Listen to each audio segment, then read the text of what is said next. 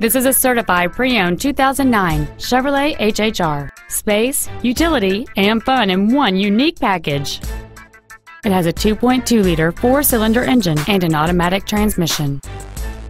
Its top features include cruise control and a trip computer, XM satellite radio, a low tire pressure indicator, traction control and stability control systems, and this vehicle has fewer than 36,000 miles on the odometer.